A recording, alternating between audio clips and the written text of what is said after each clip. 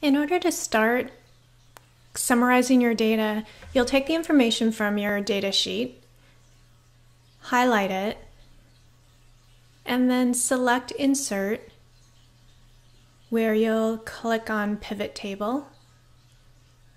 And the pivot table will automatically select the range. You can double check the that by looking at the column numbers and the row numbers. And I want my pivot table to appear on the same sheet, pretty much just right next to my data. And then I'm going to click OK. So to create a pivot table with the summary information for graphing, over on the right here are all of the different column headings. So I want all of this information available to me so that I can graph it. And you can see it appears down below here. However, this is not the information that I'm looking for, so I do need to make some modifications. First of all, I want to move this behavior from rows back into my values column. And then I want my rows to be represented by the different sexes, the female and the male. Right now, the data that are showing are summations of all of the behaviors, but I want averages in order to graph them. So I'll click on this I for information, and I'm going to click on average, okay, and you can see up here that it's changed the label to average of behavior one. And I'm going to do that for each of the other behaviors.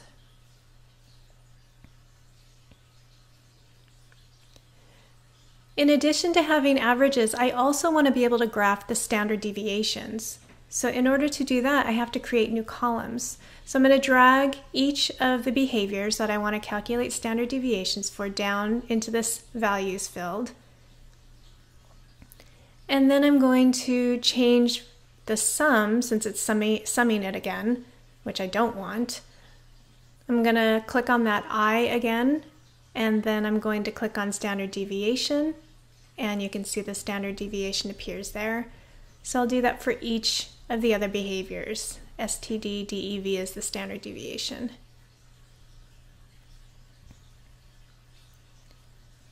Great, so now I have all the information that I want in order to create a bar graph to represent my data. So I'm going to copy, this is all within the pivot table right now, so I want to copy the actual data that I want to put into a graph. So I'm going to just select the appropriate information and I'm going to copy and then just paste it right below. So now I'm outside of the pivot table. I'm going to make a bar graph showing error bars with the data that we just selected. So I'm going to select the information, including the column headings that I want to graph. And then I'm going to go over here to insert, and I'm going to select the appropriate bar graph. And Excel automatically puts everything on the bar graph for me conveniently. Two different colors for the two different sexes.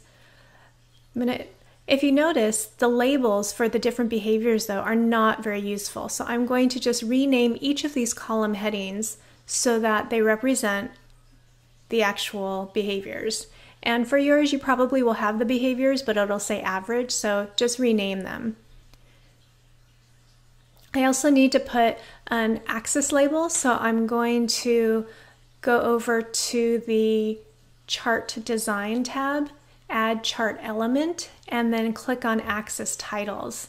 And I need a vertical axis title, so my y-axis title, and you can see a box appears. So I'm just going to rename this as um, behavior rates. Let's see yeah, rate of behavior per five minutes, since my intervals, let's say, were five minutes. Okay, so now I'm going to change a couple of other things.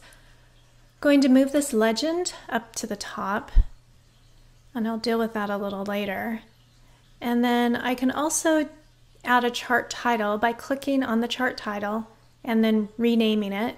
Or if it's a um, paper, then going into the paper, then I would just completely delete it. So now I want to add those standard deviation error bars. So I click on one of the bars, go up here to the add chart element, click on that, select error bars, and then the very bottom, more error bars options. and it'll bring up this pane over here. I want to select, select custom and I'm going to specify the values for the error bars. This is an important part. So the values are going to be the values that I had the pivot table create. So I'm going to now select for the appropriate color, blues female, so that's this row here, and I'll highlight for the female my behaviors one, two, and three, and that indicates where those error bars will be. The negative error bars will be the exact same thing. So I just highlight again for the females those standard deviation values and then I can click OK and you'll see that the error bars have been added. The error bars, I can change the formatting of them. So for example, I want to make them perhaps a little um, heavier so that they're more visible. So I'll click on the error bar, come over here, and I can click on this paint can and you can change the width of the lines for the error bars. So I'll go ahead and increase, nope, that, that one, yep, over here, increase this to 1.75. Actually, that's a bit much. Three points a little much. So yeah, let's go back down to about 1.75. Okay, that looks about right. I also want to clean it up a little bit, so I'm going to just show the positive end of the error bar. So if you look up here, click on the error bar, and I can just click the plus, and it's just going to show me the error bar above the, um, the bar. And this is really helpful, especially if your error bar extends beyond the axis. Okay, you can also change the color of the bars by selecting um, up over on this ribbon, the top ribbon, there's a change colors. So if you click on that, there's different colors that you can select and if you choose one you can see that it actually changes the bar colors. For presentation purposes the type, the font size is pretty small. So I'm going to increase those by, cl by clicking on the axis, going up to the home ribbon, and changing the font size to 14, let's say. Much better. And that'll be better for a presentation. And I can do that for the x-axis as well. Click on the axis, go up and change the font size there. Okay. All right, um, going back, I do need to add the error bars to my male values here. So again, I click on the bar itself, go up to the chart design, and then over here, add chart element, select the error bars, and then all the way down at the bottom, more error bars options and we'll click on over here in the pane the very last option which is custom and I'll click on specify value so that I can select those values that we had that we had the pivot table calculate out. So I'll select the three values for the three bars, the positive values, and then I'll also select those same values for the negative values. And I'll click OK.